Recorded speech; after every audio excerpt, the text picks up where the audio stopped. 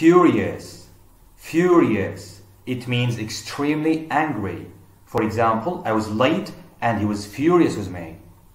Disillusioned. Disillusioned. It means disappointed and unhappy because of discovering the truth about something or someone that you liked or respected. For example, he's become a disillusioned man. Disgruntled. Disgruntled. It means annoyed, unhappy, or disappointed about something. For example, the players were disgruntled with the umpire. Apprehensive. Apprehensive. It means worried about something that you are going to do or that is going to happen. For example, I am very apprehensive about tomorrow's meeting. Happy, happy, it means feeling, showing or causing pleasure or satisfaction. For example, she looks very happy.